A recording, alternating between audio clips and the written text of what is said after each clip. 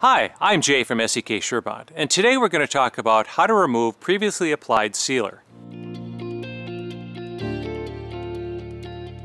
Before you begin a surface restoration, you may need to remove any old sealer.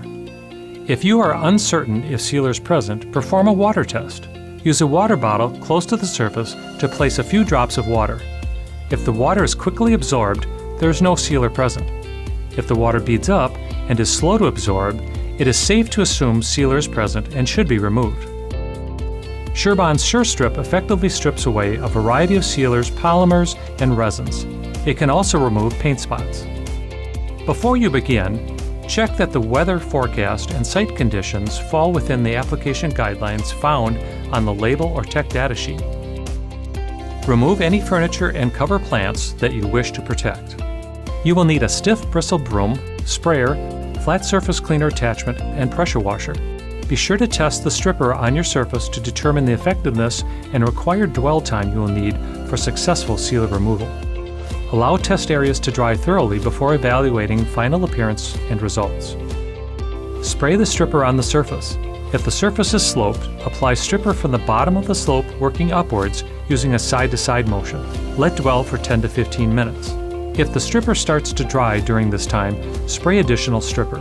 On large projects, it may be necessary to work in smaller, more manageable sections. To check if the stripper and sealer are ready to be removed, complete a scratch test.